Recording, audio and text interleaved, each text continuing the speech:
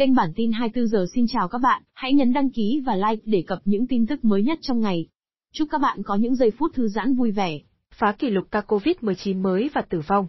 Indonesia tiến sát bờ vực thảm họa. Indonesia ghi nhận số ca bệnh COVID-19 và số ca tử vong tăng trong 24 giờ cao chưa từng có tiền lệ, trong bối cảnh một tổ chức quốc tế cảnh báo nước này đang tiến gần bờ vực thảm họa vì dịch bệnh. Hàng nghìn người Indonesia xếp hàng bên ngoài một sân vận động ở ngoại ô Jakarta hôm 1 tháng 7 để tiêm chủng COVID-19. Đây là nỗ lực của chính phủ Indonesia trong việc tăng tốc ứng phó với dịch bệnh khi tổ chức chữ thập đỏ cảnh báo viễn cảnh ám rằng quốc gia Đông Nam Á đang tiến gần tới bờ vực thảm họa vì COVID-19.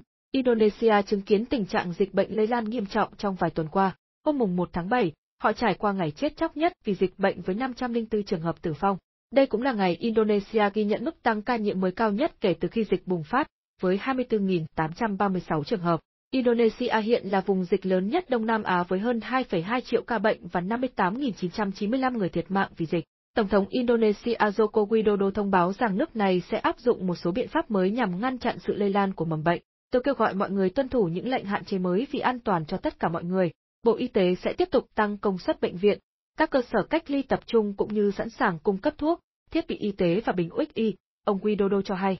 Giới chức y tế Indonesia cảnh báo rằng, một số khu vực tại Indonesia đang cạn kiệt giường bệnh, trong khi biến chủng Delta nguy hiểm đang lây lan với tốc độ cao. Delta, chủng SARS-CoV-2 dễ lây nhiễm nhất thế giới, đã gây ra làn sóng dịch bệnh bùng nổ ở Ấn Độ hồi tháng 4 và tháng 5.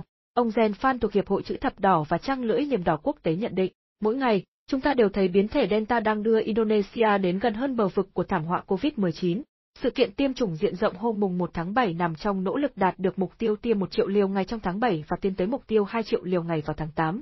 Tại nhiều bệnh viện, số lượng bệnh nhân tăng nhanh, và các lều đã được dựng lên ở bãi đỗ xe để mở rộng nơi thăm khám, chữa trị cho người bệnh. Indonesia, quốc gia đông dân thứ 4 thế giới, đặt ra mục tiêu hoàn thành tiêm chủng cho 181 triệu người trên tổng dân số 270 triệu vào tháng 3 năm 2022, tương đương 67%.